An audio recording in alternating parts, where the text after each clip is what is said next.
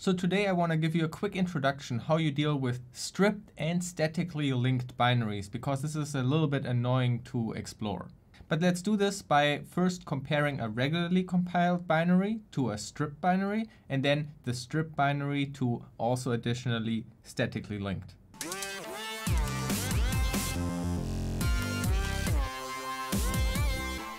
The example binaries that we will be using were compiled from the source code of the Format 4 level from Protostar. This is an exploitation challenge, but I mainly wanted to use it because it was just right there.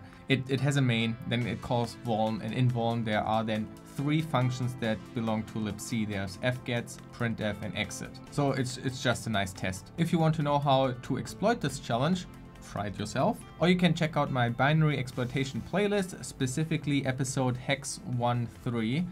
This is where I'm solving the format 4 challenge. Just FYI, back when I made this challenge, it was called exploitexercises.com. Now it's exploit.education. Anyway, so here are the three example binaries.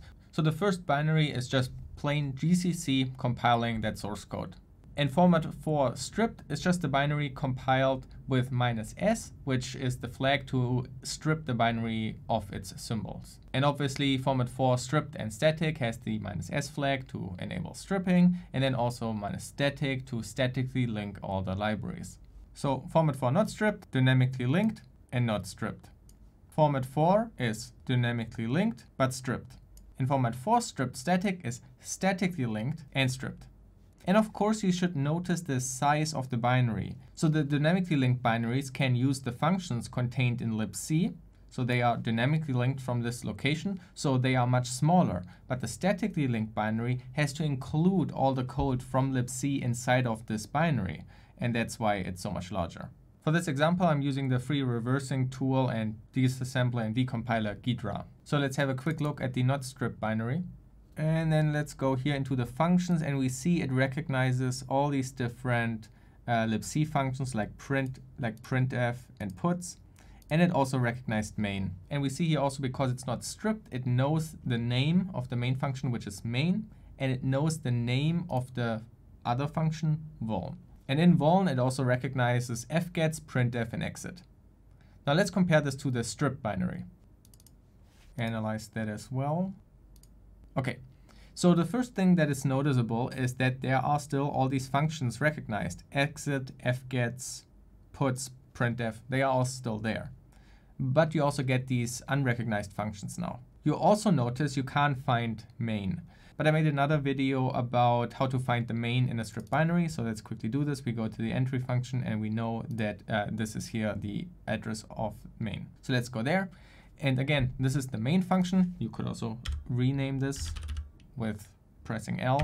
We know this is the vuln function, but because it's stripped of all the symbols, the binary doesn't contain the information that this function used to be named vuln. So that's why it's an unrecognized name just made of the address of where that function is. But when you look into that function, you will see that it still recognizes fgets printf, and exit. The reason for that is because it's dynamically linked and it has to resolve the symbols in the library that it's loading.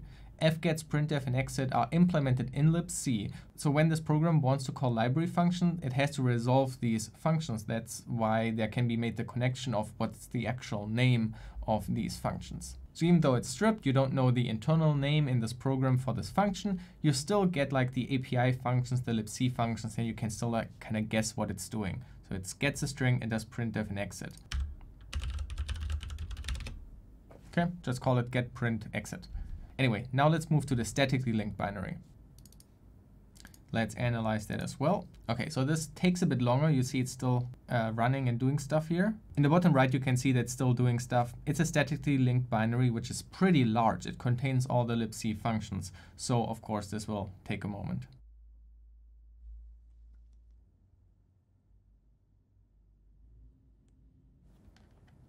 All right, it's finally done. So let's check out the functions. And now all the functions are unknown. It only knows the entry point. But we know how to recognize main. So we can go to the entry point and we know that this first function should be libc start main. And then the first parameter should be the address of the main function. This looks exactly the same like the strip binary. There is no symbol main and there's no symbol vuln, so those names are not given. But let's go into here And now here it's getting a little bit scary because here these functions are unknown. And when you are now reverse engineering this and exploring this for the first time, you might wonder, oh, what's maybe in this function? And you go in here and then it starts to look like completely insane. What the heck is going on here? Also, I noticed here a little bit of a bug or kind of an issue that is quite interesting and you should be aware of that stuff like this can happen with reverse engineering. You should maybe not fully trust a decompilation or analysis like this. Because notice how here are four functions but when we compare this to the other binary, we only have three functions. So where's that fourth function coming from? When we click on the functions, it will jump in the assembly to where this function is. And you see here, this third function ends here, and then there's this, like a new function starts here. So this other call is actually in this function here. And if you pay close attention, you will notice that this is the same address as the vuln function. So the vuln function is calling itself. And if you, again, paid a bit more attention, you will notice that this is actually the start of main. This, this was the main function. Now, functions typically end when there's a return. And this vuln function doesn't have a return here. Um, it, it's missing. There's just a call, and then immediately afterwards, the main function starts. So why is there no return? Let's quickly look again at the strip binary. When you go here to the same spot, you will find that there is an exit. An exit always means that the program ends here.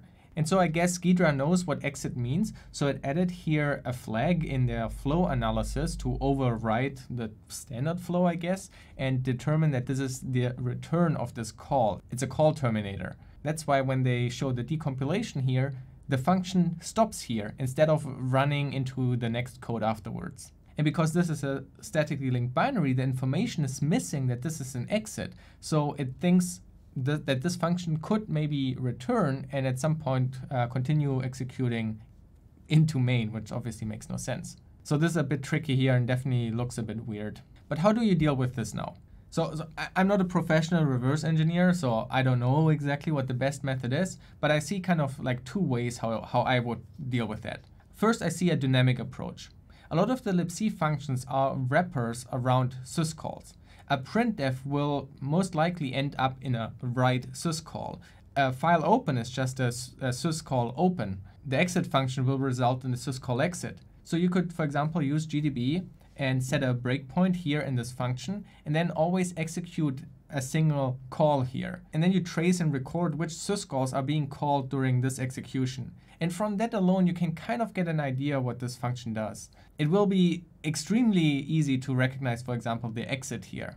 Printf and fgets might be a little bit more difficult, but you can also look here at the number of parameters. Now decompilers like this might make mistakes with the number of arguments here used, but it's a very good indication. And you notice, for example, that it takes here a size and that here's a buffer. You can see it's used by both these functions. So the parameters are also another puzzle piece that can help you to identify what this function might be doing. Now, this method one is more like a general reverse engineering tip because this doesn't only apply to statically linked libraries like this, but it generally applies to any reverse engineering of any function. Looking at it in this way are the puzzle pieces that you can use to come up with uh, a name for the function, an idea of what this function might be doing. Now, method number two for dealing with something like this is using function signatures. I guess the most widespread or known function signature is called FLIRT, IDA FLIRT signatures. To assist IDA users, we attempted to create an algorithm to recognize the standard library functions.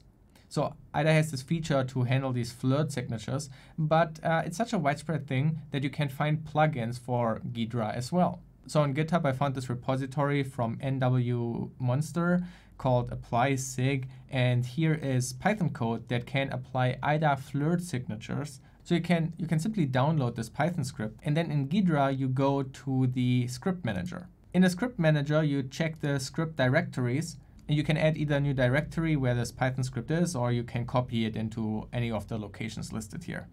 Okay, so let's copy this into the Ghidra scripts folder and then let's refresh that list and here it just showed up. You can also search for it down here. So let's execute apply sig. Now it's asking for a signature file. So where do you get these signature files from? There are a lot of people creating signatures and I found here this GitHub repository by push EBP, uh, a signature database. So let's try to find something fitting. I guess we have Ubuntu, libc 6. Um, again, here's a little bit of guessing. There are a lot of different signatures for all the different versions that are available. So I'm actually, I actually don't know which Ubuntu version I have here exactly, maybe something like that. Um, it doesn't really matter. A lot of them are also similar, a lot of them different, so it, it always varies. So I guess maybe let's try one of the bit newer ones here. Let's download this one. I don't know. So let's download that signature and then we can select it. Apply sig. Now it takes a moment. Uh, it's doing a lot of stuff. And look at that. It recognized this as printf. Now it didn't recognize the fgets and it didn't recognize the exit.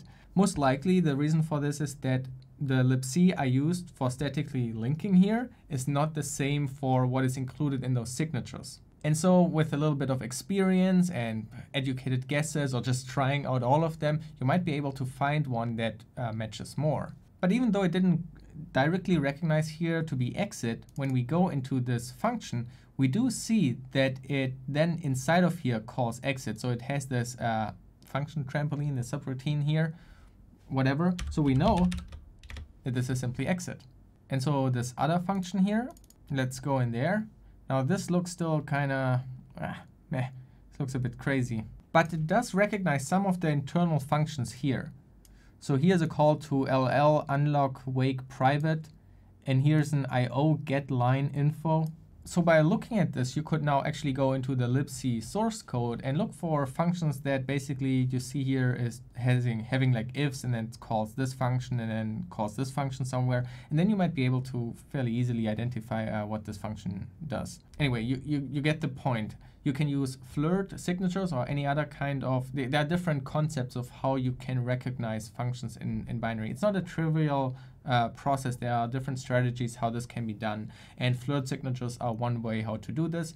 And uh, flirt signatures have the advantage that it's very widespread and you typically find a lot of scripts and tools that already use it and handle it for you. All right, I hope this was helpful to you and gives you an idea how to get started with statically linked binaries.